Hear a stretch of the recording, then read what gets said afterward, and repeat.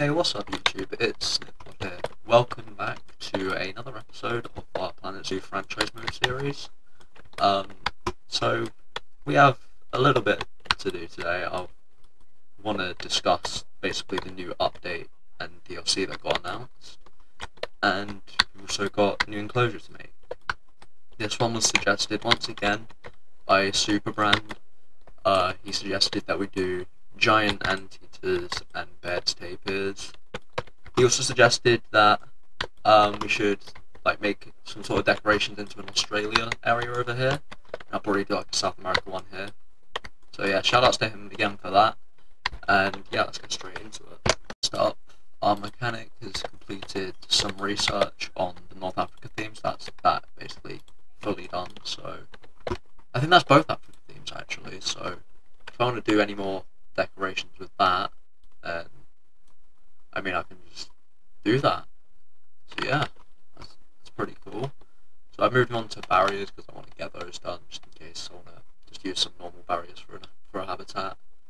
After that, I'm probably going to move on to the Australia theme because, like I said, um, we're going to be making some Australia type of decorations in this video.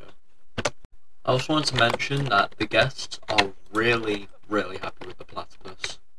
Like, we made the habitat last video, and it's already become the most popular habitat species, so I'm happy with that. And then we've also got the eastern brown snake as the exhibit species, just over here. So yeah.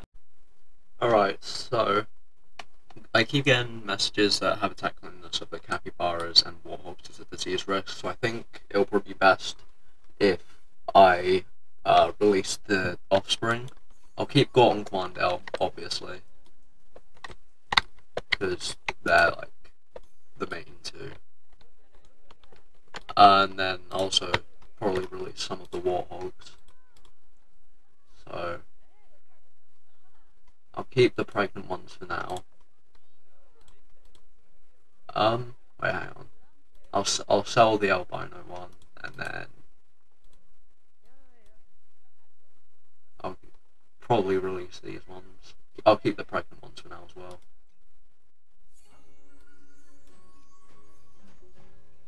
There we go, and the albino one.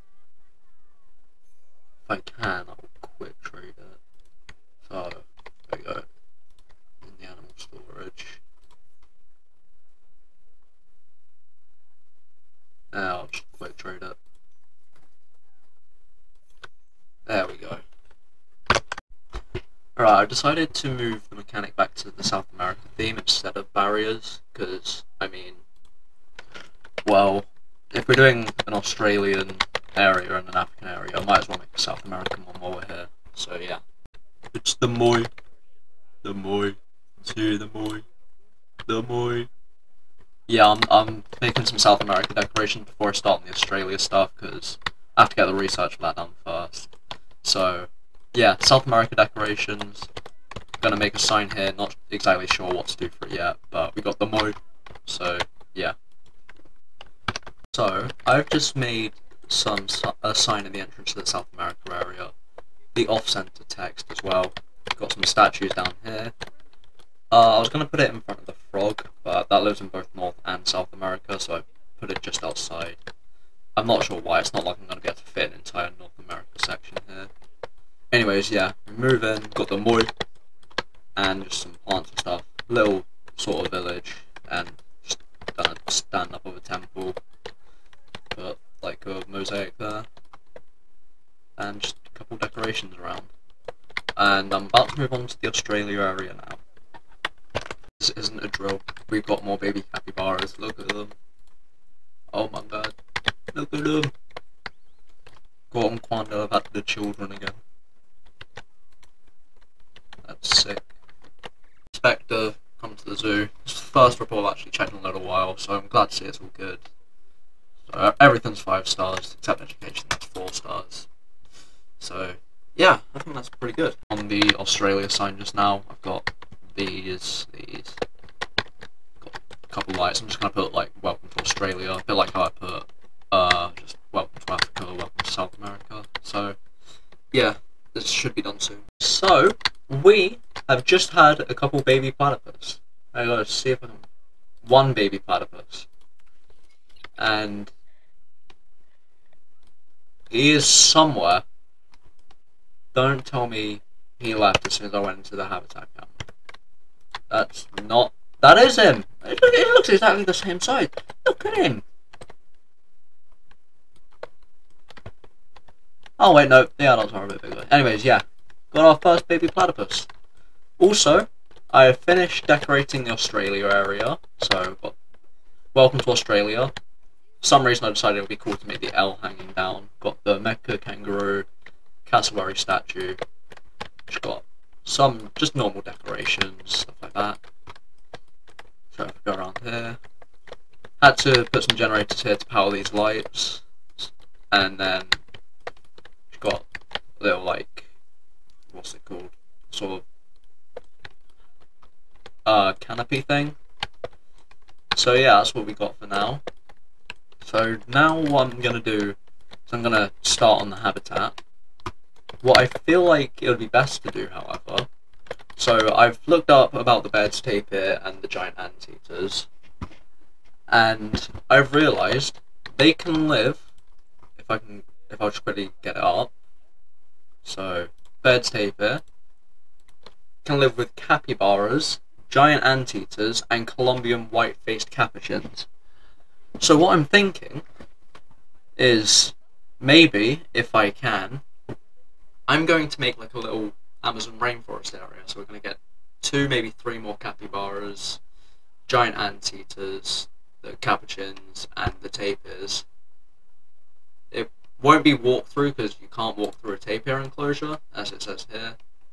So, yeah, um, I'm gonna see if I can make that, and hopefully we'll have like a little, an awesome little rainforest area.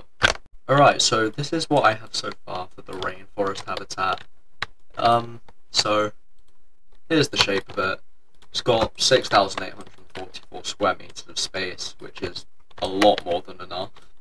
Uh, put a little like viewing platform up here so like guests can just like look into it and just see what's going on. And made some custom little supports here out of bamboo, trying to fit the South America theme. Not exactly sure what to do for the walls at the moment. Got like a little rock arch over the door, which honestly looks like someone just taken a massive shit and used it as a door frame. Anyways, yeah, I need to try and find a cool design to make like barriers, but I also want people to be able to see through them. So yeah, I'll try and figure something out. I changed my mind on doing the like rainforest, like whole biome in the middle here. I decided I'm gonna make like a sort of rainforest dome. So that's just gonna be the capuchins, um, and if I can fit them in, the giant anteater and tapir. Uh, I was gonna put in the capybaras, but I mean we've already got a habitat for them. We don't really like we don't really need to. So yeah, I'm gonna wait for the mechanics to finish research and then I'm gonna start building some of this. New world research is done, which means I can actually get the dome done. So I've got this bit done. Just gotta move it all around, put it in a circle shape, and then I can decorate the inside, see if I can get any animals in there. So I'll be back when I've done that. I've got the dome finished. I forgot to decorate, like, with planks and stuff, so it's only that bit that's been done. And I'm also adding, like, an outdoor bit for the animals. Um, while I'm here, I want to talk about some stuff that's been announced for the game. So, first of all, got 1.11 coming out. So it's basically just um, adding like new exhibit stuff like upgraded cameras, controlling like reproduction of exhibit animals, and also add some new behaviors to escapes. Like, so for example, animals will uh, knock over bins or eat rubbish, stuff like that. Um, they're also adding a few new like apparently they're adding a few new like terrain options like ramping and things like that. And there's and the main thing, oh, mechanic research. Anyway, the main thing that's been added. Well, it, it's not part of 1.11, but we've got a new DLC coming out on October 18th. It's the Twilight Pack, and it had it's mainly a like scenery pack, but it adds five new animals, those being the common wombat, the black and white striped skunk, uh, the raccoon, red fox, and the Egyptian fruit bat, which is kind of big for Planet Zoo because we don't have any like flying animals yet. So we might be able to get like birds and things like that soon. Um, and then uh, they're also adding a basically walkthrough exhibit for you to put the bats in. So that's also going to be quite cool. Can't wait to see how people build with that. And they're also adding a new um, like tutorial sort of level like the scenario things. So yeah, I think that's pretty good. The back part of the dome done. I know it's not that big, but as long as the animals can get outside and they have enough space, it should be fine. I probably will make it bigger if there's not enough space. Anyways, yeah, now I've got to add a keeper gate to make this into like a proper enclosure. And I will start decorating it and then moving the animals in. Oh, well, well, well. We got more adult capybaras. They're all maturing. Except for this one. Never mind, he's matured now. But yeah. New adult capybaras. Wait, Quandale Dingle's 5 stars? Oh! That's big. That's insane.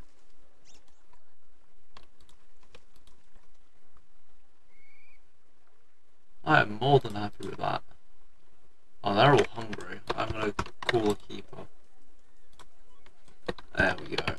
Anyways, yeah, back to the dome. I've started add in some plants on the inside. I might add another like indoor bit over here for bedding, for like animal shelter, stuff like that, and just to reduce stress. So if I do get onto that, I will obviously add those. But yeah, you also got to do the outside as well, add some trees there. Uh, check the space on here.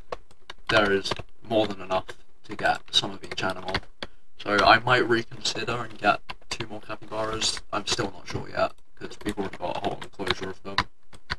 But uh, yeah, I'll get back to you when I'm done. So, the dome is completely finished now. So I've got staff areas over here, so I put quarantine, then the usual stuff. Then I put a trade centre, just, just to make it a bit easier. Then I've also got some toilets, some little like decorations. Got a couple shops over here, and then we've also got the transformer, the water cleaner in the background. Uh, some more decorations around here.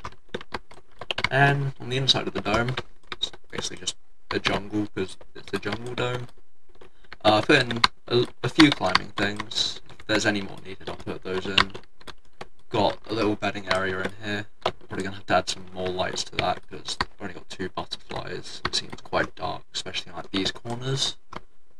And then there's the outside bit over here, which is quite small, but yeah, I've got a few balls of water, some plants, and then just some climbing stuff. So I'm gonna see if I can buy buy the animals, and I'm gonna move them now. Alright, so I've bought the animals. Um, so I'm not going to pronounce the names because I know I'm going to fuck most of them up. Except this one. This is George. He's an albino capybara. And then we got all these guys. And Bitter Call Roll.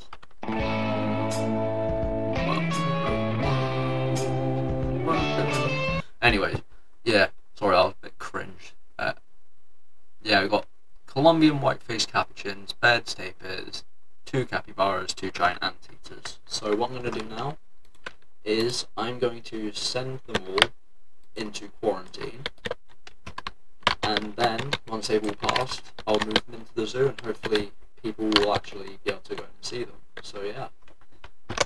So I've moved all of the animals in, I've given them suitable enrichment because the vet's just been doing research. Like that. There we go and everyone seems to be really happy. I genuinely love how this turned out. I think this is probably one of the best builds I've done in this game. So yeah, I'm really glad with it. Oh, mechanic research as well. Alright, so that's three new animals in one video. I'm really glad with it. So yeah, I'm gonna end it here for today's video. If you guys liked, make sure to like and subscribe. Comment what animal you want to see next. It could be like a reptile house. It could be like I don't know, big cat. Literally any animal in the game. Just you name it. I'll try. and I'll try and add it if I like the idea. And yeah, I I will see you guys in the next one. Four likes for part whatever. Goodbye. Okay, I pull up,